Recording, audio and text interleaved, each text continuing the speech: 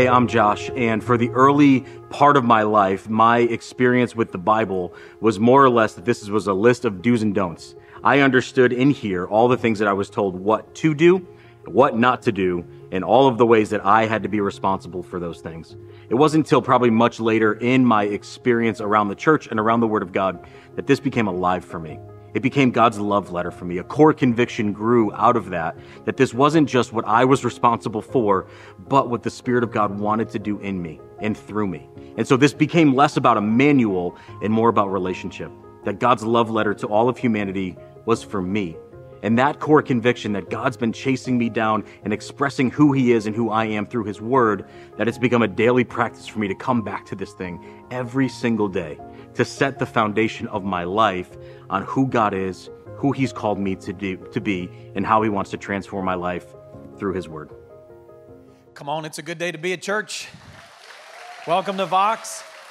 If you're new, my name is Justin. I'm the lead pastor. Thank you for being here today. We are so honored to gather with you today and lift up the name of Jesus. We're in a teaching series called Convictions, right? Looking at these foundational beliefs that really do form our faith, become the anchor points for our faith. And we've been looking at them through the Apostles' Creed, this ancient document written outside the Bible, right? It's not scripture, but it really does collect the New Testament teachings about convictions for those that follow Christ. And so I want to read the Apostles' Creed with you today. We've been reading it every single week for the last number of weeks. It says this I believe in God the Father Almighty, maker of heaven and earth, and in Jesus Christ, his only Son, our Lord, who was conceived by the Holy Ghost, born of the Virgin Mary, suffered under Pontius Pilate, was crucified, dead, and buried. He descended into hell on the third day.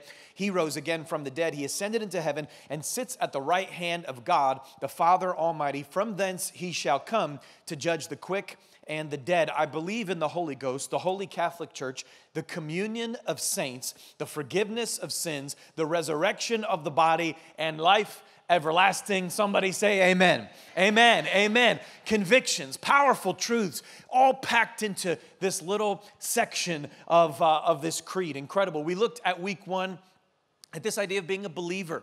What does it mean to be a believer, to be a person who believes, a person of faith? And then in week two, Sean talked to us about the Father Almighty, right? If you remember this, he talked about the tension between God being close and present like a father and also God Almighty, the creator of heaven and earth. And then we looked at the Son the Son and how Christ and what He's done for us really does change everything in our relationship with God, that He is the great bridge. And then last week, if you were here, we uh, heard from Mike who talked about what Christ did in His resurrection as He entered into death for us and then rose from the dead and is now seated at the right hand of the Father. My hope is that as we've been through these first four convictions, now moving into the fifth conviction that is outlined in the Apostles' Creed, that it's beginning to shape you a little bit. Beginning to challenge you a little bit because the goal of this whole series is to force us to ask the question, you know, what do I really believe? And if I believe this, how should that change the way I live? How should it change the way I look at my life and the way I look at my future and the way I look at what I value? And so hopefully these convictions are starting to challenge you, starting to ask some questions and press you to decide what is it that you really do believe. Because my big dream, my big passion is that out of these core convictions really does form a holy alternate community, a people of God that might look on the outside just like everybody else, but on the inside, we're driven by a different vision, a different hope, a different joy, and it's rooted in the truth of what God's revealed in His Word. And so that brings us kind of right now to this next phrase in the Apostles' Creed, one of my favorite. It says, From thence he shall come to judge the quick and the dead. If you remember the 1990s, there was a Western called The Quick and the Dead. And they, I think they were talking about quick, you know. But this isn't talking about how quick you can draw your gun, it's talking about the alive and the dead. That there will be a day where Christ comes and that the dead and the living are judged. And so, what are the implications of that? What does it mean? And how should it affect our lives? I want to be today studying First Thessalonians chapter 4 this is a letter written by the Apostle Paul where he talks about the implications of the second coming of Jesus. We're going to explore it together today, and it's an incredibly exciting text. Look at it with me, verse 13 of chapter 4. It says, But we do not want you to be uninformed, brothers, about those who are asleep, that you may not grieve as others do who have no hope. For since we believe that Jesus died and rose again, Even so, through Jesus, God will bring with him those who have fallen asleep. For this we declare to you by a word from the Lord, that we who are alive, who are left until the coming of the Lord, will not precede those who have fallen asleep. For the Lord himself will descend from heaven with a cry of command, with the voice of an archangel, with the sound of the trumpet of God, and the dead in Christ will rise first. Then we who are alive, who are left, will be caught up together with them in the clouds and meet them in the air, and so we will always be with the Lord. Therefore, encourage one another with these words. Now, concerning the times and seasons, brothers, you have no need to have anything written to you, for you yourselves are fully aware that the day of the Lord will come like a thief in the night. I want to speak just for a few minutes today under the heading, He will come. He will come. Would you pray with me? Open your heart to God. Let's invite Him to speak to us. God, I thank you for this day that we come, each of us, from a different place with different circumstances, and yet your word is just as relevant and just as powerful. Lord Jesus, I pray that you'd make yourself known today. We invite you to be among us as the gathered church, the body of Christ, lifts up the name of Jesus Christ. I pray that you would be a present help in a time of need, that you'd meet each of us in a personal way. In Jesus' name. Everybody said, Amen. Amen. Maranatha. Maranatha. If you've been around church for any length of time, maybe you've heard that word before. Maranatha. It was a word that was used in the early church as a greeting. As a greeting when Christians came together. It's an Aramaic word. It appears one time in the New Testament, and scholars have debated its translation, Maranatha. It's a combination of two words, Maranatha. Maranatha, it means our Lord has come. Maranatha, that's a profound truth that our Lord has come. It's at the center of Christianity, right? That we believe that God came that he became flesh, lived among us, died a death for our sins, and rose from the dead. Our Lord has come. But if you separate the word a little differently, it actually changes the meaning. So if it's Maranatha, Maranatha, now the word can be translated our Lord is coming.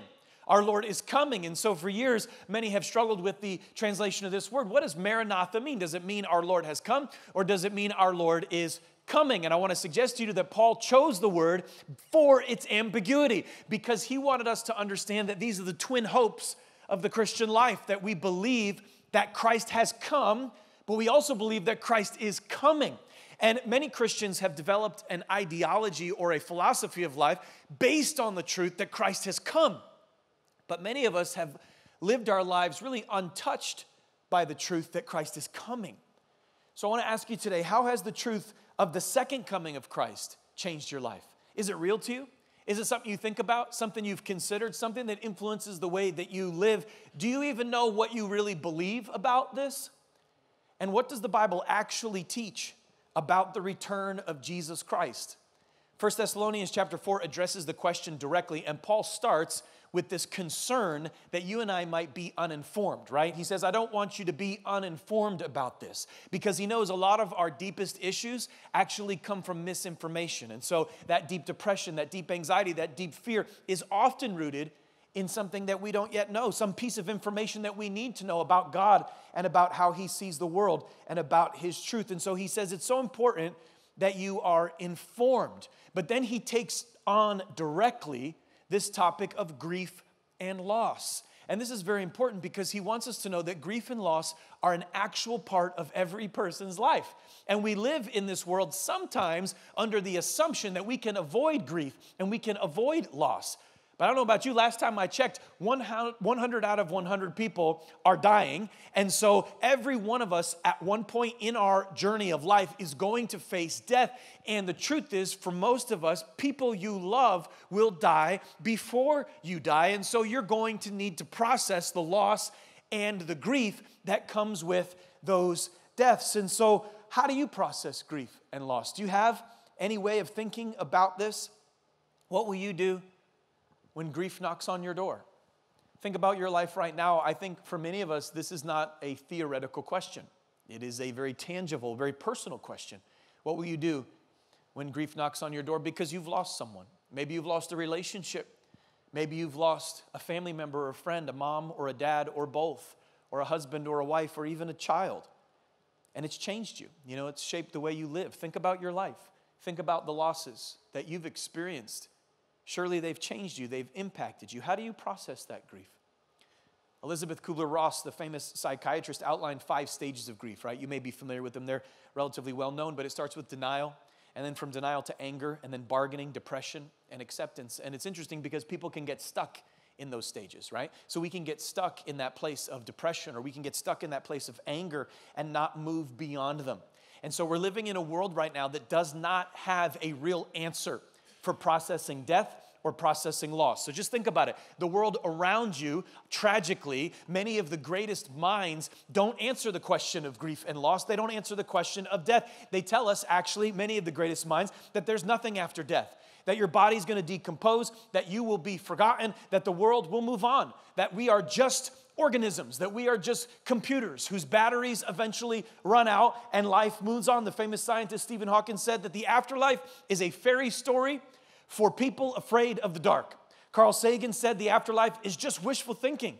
And so we're told by many of the greatest minds that death is natural.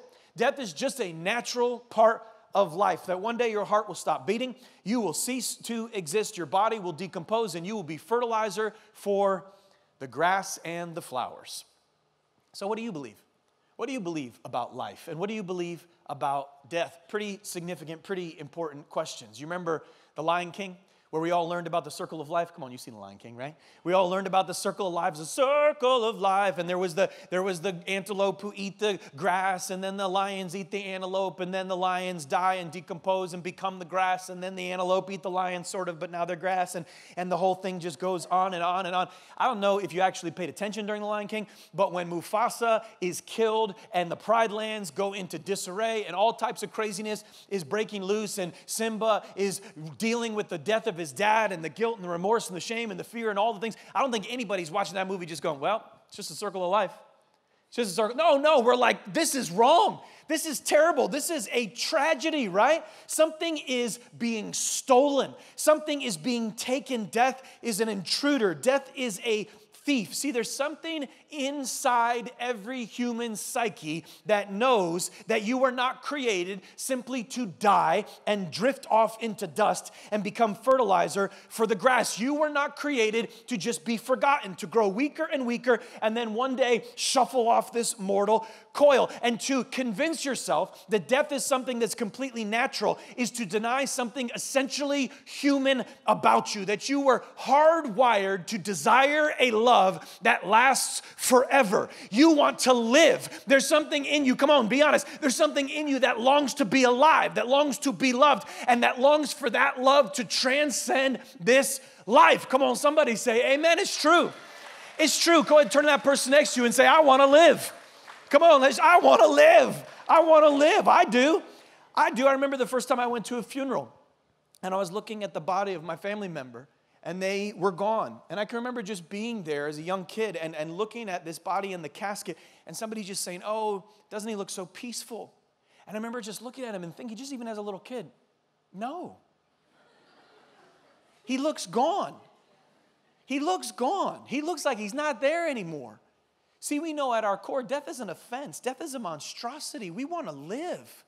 And we want the people we love to live. Why are we denying this? I don't want to become fertilizer. The scripture says that God has set eternity in your heart. He set eternity in your heart because death is not a part of God's original design.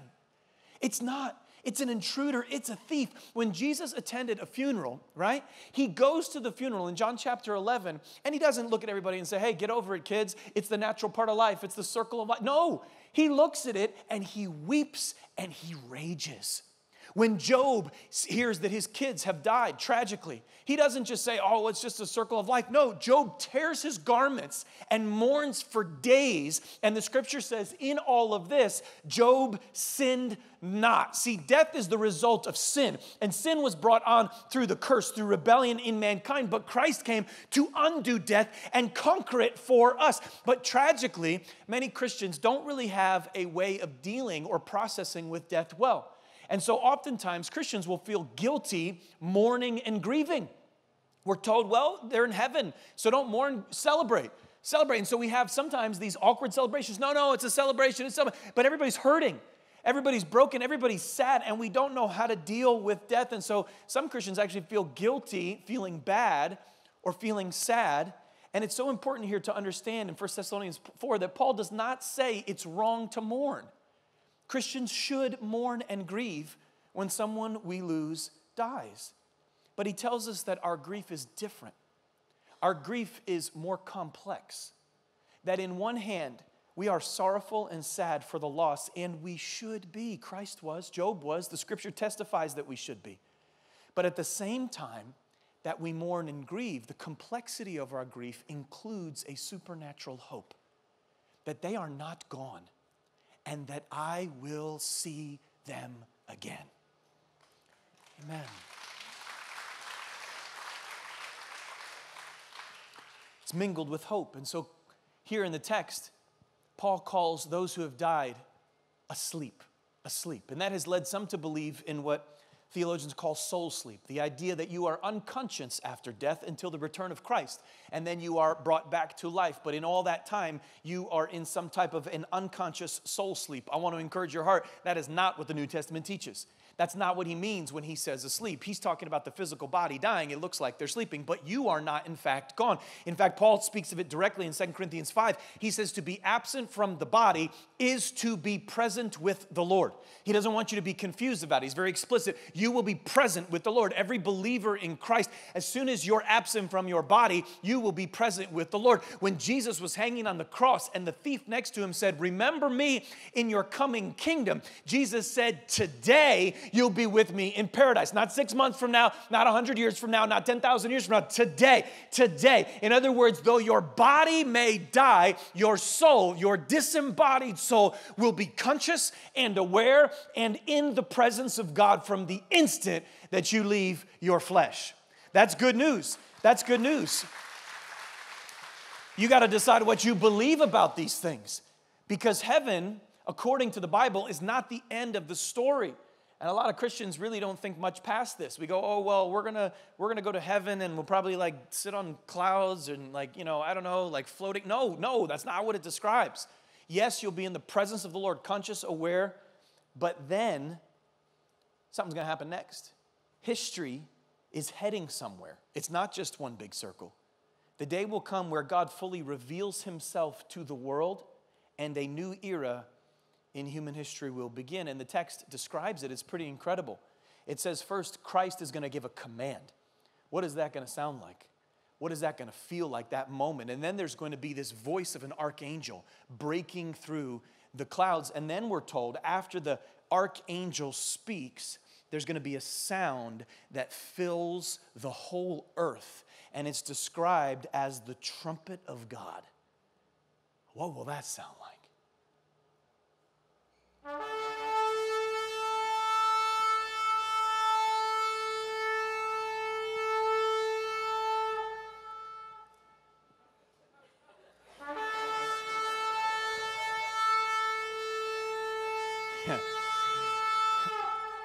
you know, I don't know exactly what it will sound like. Maybe you hear that and you think, oh, well, that, that feels a little silly. You know, it feels a little you maybe, maybe you're even a little embarrassed about these types of scriptures because they just feel a little, little pie in the sky, a little silly. I want to I wanna just press you on that because the New Testament writers, they did not feel embarrassed about this. They did not treat the return of Jesus as something to kind of push off to the side as a side issue. In fact, the second coming of Christ was an absolutely central issue to New Testament believers. It's mentioned over 300 times in the New Testament. One out of every 13 verses in the New Testament refers back to the second coming of Jesus because these people understood that what you believe about the future has tremendous power to shape your present. And you're believing something about the future right now. Whether you've identified it or clarified it is up to you you're not maybe sure even what you believe about the future, but that uncertainty is informing your life. No matter what you believe about the future, it has implications for your present way of living. And they knew this, and it was critical that you understand what you actually believe is to come. So, what do you believe? What do you believe? Revelation 1 7, behold, he is coming with the clouds, and every eye will see him, even those who pierced him, and all tribes of the earth will wail on account of him. Even so, amen.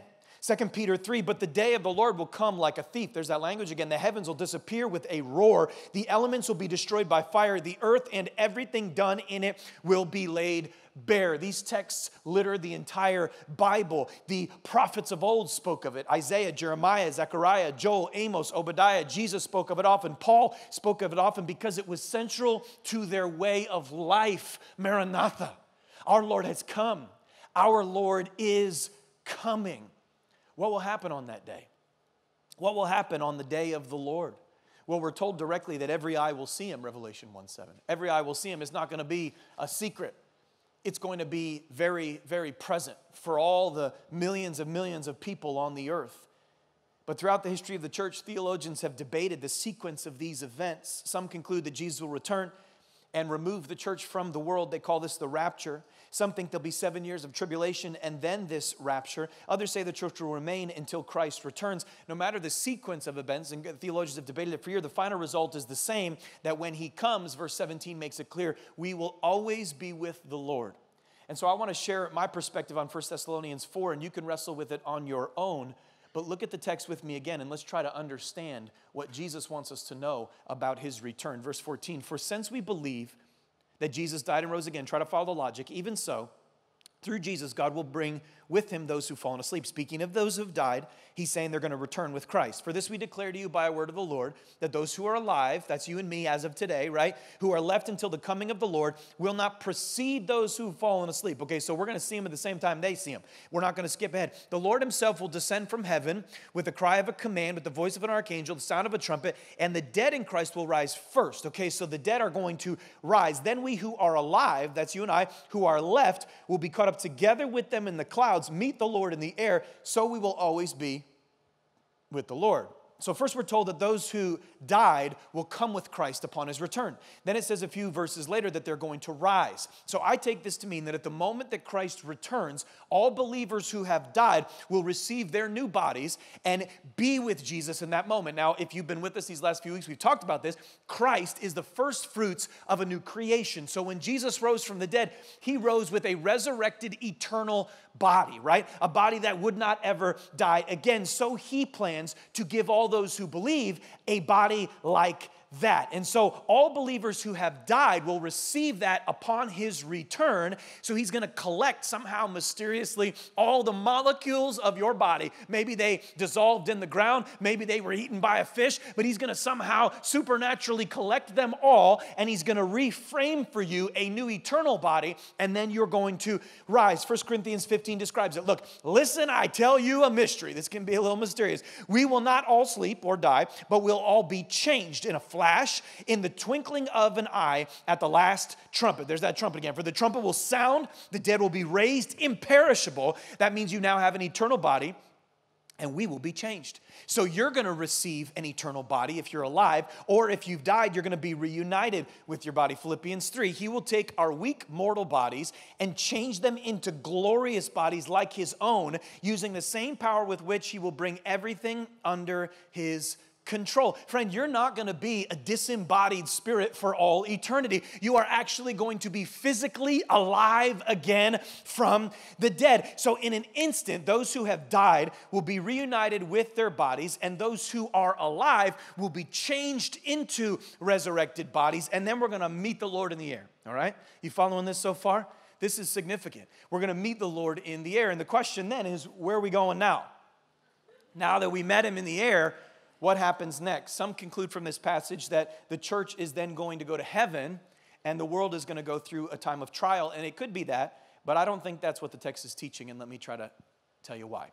The scripture says here that we are going to meet the Lord in the air. By say meet, meet, right? So meeting the Lord in the air. That word is not the common word that is used for meet. In fact, it's only used two other times in the New Testament. It's a very specific word. It's a noun. It means we're going to have a meeting with the Lord. But that specific noun has some specific implications. It describes the arrival of a dignitary or an emperor who comes to a city, and the people, hearing that he is coming, go out to meet him before he arrives at the city. And then they welcome him, they become his entourage back into the city in which they came. And so we see this both times it's used in the New Testament, it's used in this way. One is the parable of the ten virgins, where the virgins go out to meet the bridegroom and bring him right back into the wedding ceremony. Another time is where people go out to meet Paul and then they immediately return back to the city that they came. And so I take this to mean that all believers, dead and alive, will meet Christ upon his return in the air and then come down with him to the earth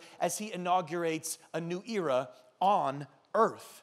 And so the Bible describes a series of events that will happen at that point, and it will culminate in what's known as the final judgment the final judgment. And Revelation chapter 20 describes it. Look at it with me. I saw the dead, both great and small, standing before God's throne. And the books were opened, including the book of life. And the dead were judged according to what they had done, as recorded in the books. And the sea gave up its dead, the death and grave gave up their dead, and all were judged according to their deeds. Then death and the grave were thrown into the lake of fire. This lake of fire is the second death. And anyone whose name was not found recorded in the book of life was thrown into the lake of fire. So, Revelation 20 is describing Judgment Day, a day of reckoning, a day when all things will be exposed. And it's important to note here that no one skips this moment. No one. In fact, 2 Corinthians 5 is explicit about it. It says, Look, for we must all appear before the judgment seat of Christ, so that each one of us may receive what is due us for the things done in the body, whether good or bad. Are you starting to see how what you believe about the future must impact the way you live today? See, it's critical that we have a clear conviction about this. What do you believe? I wonder how much the truth of the second coming of Christ has actually changed your life or impacted the way you think about your plans, your future, your dreams, your desires. I think if we're honest, for many of us, the idea of a judgment day is very, very uncomfortable for a lot of reasons, but some of it is just cultural. We don't like the idea of being judged. You know, our postmodern worldview tells us that, you know, I don't really, I don't really like the idea of a God who judges. I like a God who loves everybody, and I don't, I don't see how God could be loving and condemn people to hell, you know? And so we've embraced what you know many have called expressive individualism. This idea that, that truth is relative to my individual perspective. What I believe about truth is the most important thing, and no one can have a final say over my life. And so we often imagine a God who accepts everyone, you know, judges no one. But you remember the second commandment, we looked at this a couple weeks ago, where it says, You'll not make God into an image. The first commandment talks about God's supremacy, no other gods before me. But the second commandment speaks of our tendency to reimagine God on our terms. That there's something in the human heart that likes to recreate God in the way that we like Him, not in the way that He's revealed Himself. And so we create a God that is perfectly loving, but is not just. And what we're ending up doing without realizing it is creating a world that doesn't work work because there is wickedness, there is evil, there is sin in this world, and justice demands that that is held accountable for. And so nobody wants to live in a world where corruption and evil go unjudged, where wickedness is not dealt with. So the idea of God being loving but not being just does not work in real life. The scripture, however, describes a Bible, uh, in the Bible a picture of God who is a collision of things that seem contradictory at first glance, that he's perfectly perfectly holy, without sin in any way, and yet perfectly loving. And this is where the cross brings us close. I love how Dr. Tim Keller says it. Look at it. He says, I found no other religious text outside the Bible that said God created the world out of love and delight. So you can read the Quran, you can read the teachings of Buddha, you're not going to find a God who created out of love. I must conclude that the source of the idea that God is love is the Bible itself. And the Bible tells us that the God of love is also a God of judgment who will put all things in the world to rights in the end. And so there is a God who is both perfectly loving and perfectly just. And that means that one day I will give an account for my life, and so will you. This is the clear teaching of Scripture, and it must change us. It must change us. You know, the other day I was talking with my son, he's a freshman in high school, and he gets really good grades Very proud of him. He's perfect in every way. And, um, and, and uh, you know, we were just, we were talking, and it's finals time, freshman year, you know, kind of first, first time he's really doing finals. And so I said, I said, hey, uh, I said, hey, you know, finals are coming up. How you feeling? How you feeling about finals? And he goes, eh, I don't really care. And right away, I like clicked into dad mode. I was like, what? I was like, son, you need to care. You need to care. Son, you're a freshman. This isn't middle school anymore. This isn't elementary. You need to care. Son, you need to care. This will go on your transcript. This is important. This is significant. It's going to determine the college. You better, you better figure this out. Son, you need to care. Son, this is important. He goes, all right, dad, I care. I care a lot. I really do. I definitely care. I was like, I don't know if I won that one, but but it's an important thought to consider that your life has a transcript, that your life is being recorded, that you need to care that it matters. It matters how you talk to that person. It matters how you treat that person. It matters what you do when no one's watching. It matters. All of it matters. Your life has a transcript. And this is where I think it gets a little murky for Christians. We get a little confused because we believe in the doctrine of grace. That is the foundation of the Christian faith. In fact, no other faith offers that mysterious, glorious, powerful, life changing truth that you cannot get to God on your own, but that Christ on your behalf led you to God, that He came and lived the life you could not, died the death that you deserved, and became a bridge so that by faith in Him you could be accepted fully, forever forgiven. For by grace you have been saved through faith, not the result of works, so that no one can boast. And so we are not saved on the merits of our own life, we are saved on the merits of Christ's life. And by trusting Him, this is our hope, this is our joy, this is our life. So, how can we be judged for our deeds and received by His grace at the same time? And that's why Revelation tells us that there's more than one book. Did you catch that? There's more than one book. It says that the books were opened. The books are what record all that you've done. And then it says the book will be opened. And that's the Lamb's book of life. And so Jesus tells us in John 3 16 that whoever believes in him will not perish but have everlasting life. He tells us in Luke 10, rejoice because your name is written in heaven. And so when you trust in Christ, believe in his sacrifice, surrender your heart to his lordship, now your name is written on the merits of Jesus in the Lamb's book of life. Your name is written in his book in heaven, but then on judgment day, God will open the books okay? Those books that recorded all that you've done, and the record of your life will serve as the evidence of your faith in Christ. That's an important distinction. The record of your life will serve as the evidence of your faith in Christ. This doesn't mean that your good deeds will outweigh your bad, right? Oh, well, 51% good, 49% bad, he's in. No, no, no, no, that's not how it works. That's, remember, I mean, think about the thief on the cross. That's not how it worked for him, right? But it does mean that genuine faith always leads to genuine change. James said it like this faith without works is dead. In other words, the power of grace in your heart will always be evident in your life. And so, good deeds are not the basis of your salvation, but they are the evidence of your salvation. And so, God will open up the books and He will mark the change that's occurred in you and that change occurred by the gospel grace in your heart is the necessary fruit of justifying faith. One theologian said it like this Amen. That's huge. So important for us to know our convictions. Said it like this No one is saved on the basis of his works, but everyone who is saved does new works. Not perfectly, but with humble longing for more holiness. Humble longing for more holiness. That's a good question for you today. Do you find within yourself a humble longing for more holiness? Do you find within yourself a desire to honor God and obey Him, a desire to submit to Him? Do you find within yourself Christ changing you, making you more loving towards Him and towards others, month after month, year after year? Do you find a growing love before God and others? Because this is where you can find assurance, which, by the way, is what your heart needs most. Assurance, not that you're sinless but that God is working in you, changing you, growing you. And if you see the evidence of God working in you, then my encouragement to you is continue in your faith because one day you will stand before God and He will welcome you home. He will open His Lamb's book of life and your name will in fact be recorded in it. And then he'll open the books of your life and he'll show how through your life of faith you evidenced convictions of his grace. It's huge. So consider the implications of what we've discussed so far, right?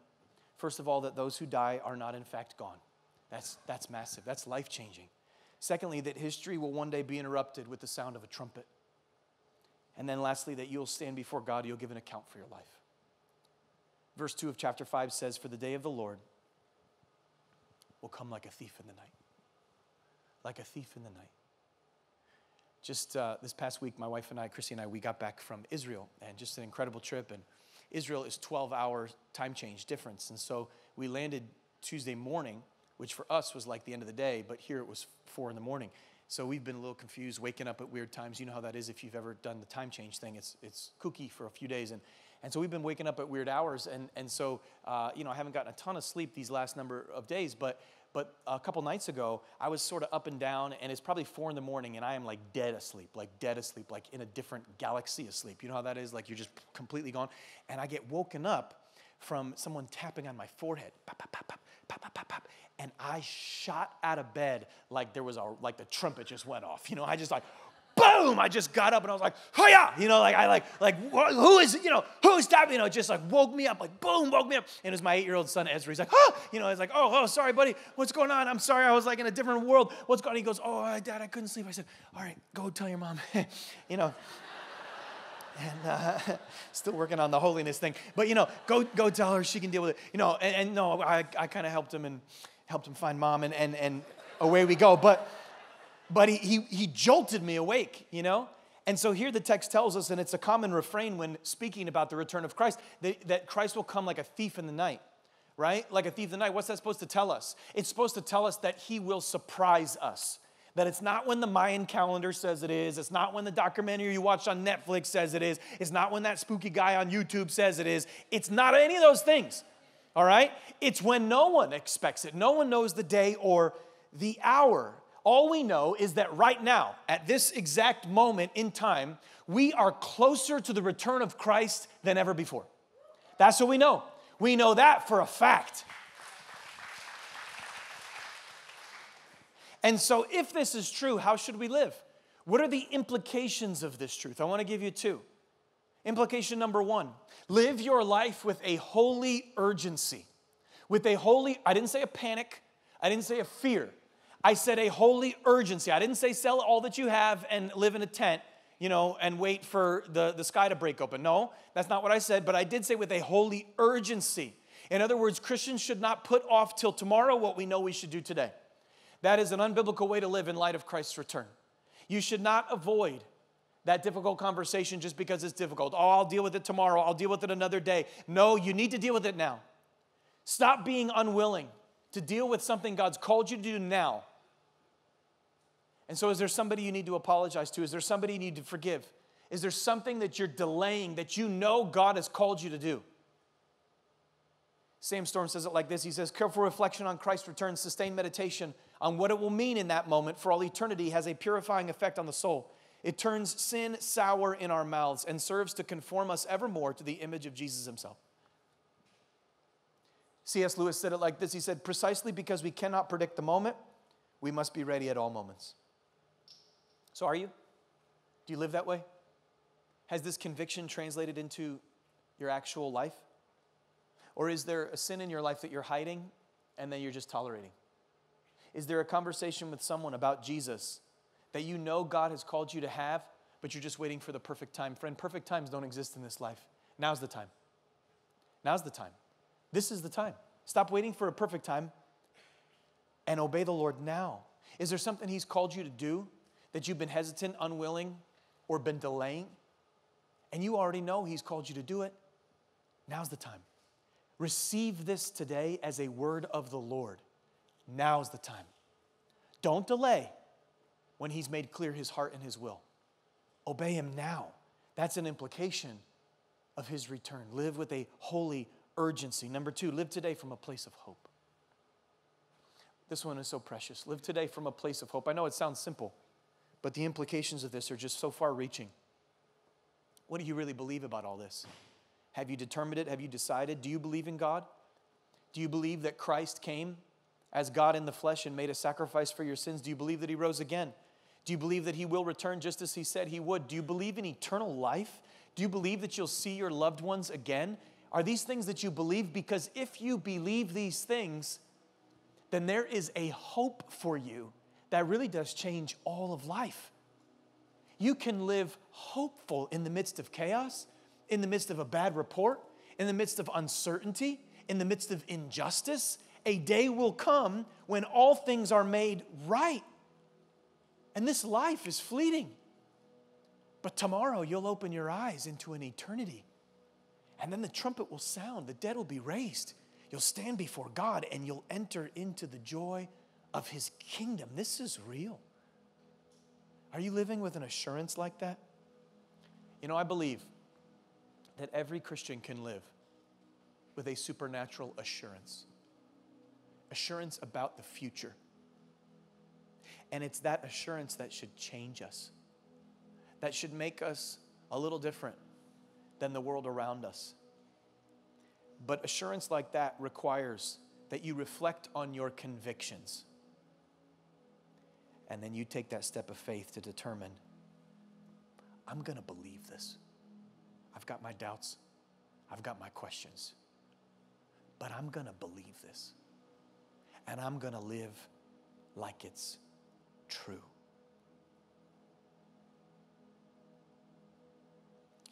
First Thessalonians 4:18 Therefore encourage one another with these words. Therefore, encourage one another with these words. Would you stand with me?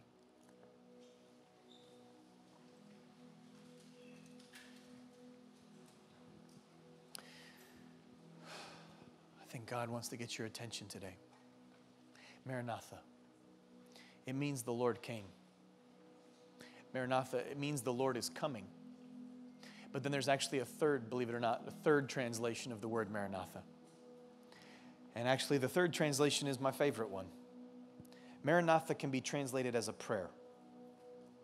It can be translated, Our Lord, come.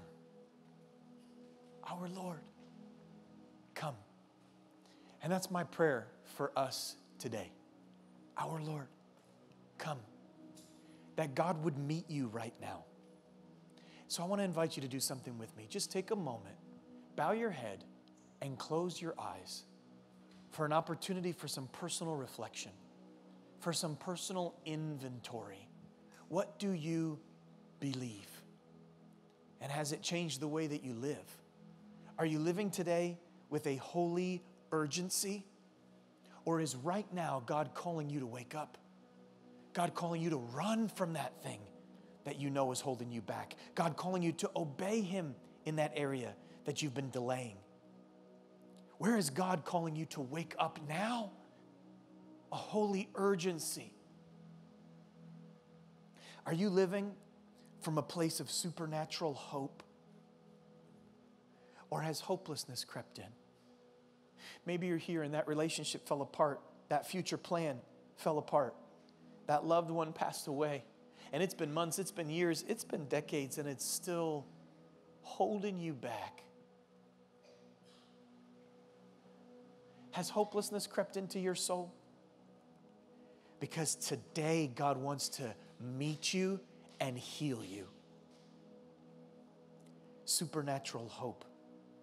It's available to you right now. And so I want to pray, Maranatha, our Lord, come. Our Lord, come and reveal yourself as present even now. Even now, before the trumpet sounds. Reveal yourself, Lord, as present in our lives and ignite our hearts with a holy urgency and a supernatural hope. Would you pray that with me today? Father, in the name of Jesus, you know the details, you know the story, you know the specifics. And so we pray, Maranatha, we pray that you would come right now, that you would manifest yourself as a present help in a time of need that you would reveal Jesus to our hearts and that you would inject our veins with a holy urgency in light of the truth of your coming. We pray in Jesus' name that even right now, you would give us a supernatural assurance that I will see them again, that this life is not the end, a hope that changes the way that we live. Lord, fill our hearts so much so that it conquers fear and hopelessness. Lord, I pray that even now, as we sing and as we worship, you would meet us in a profound way and you would change us in ways incalculable where we can't even measure the impact or the degrees, but we know surely I've touched heaven and it's changed my heart. Lord, I pray, do that even now in Jesus' name.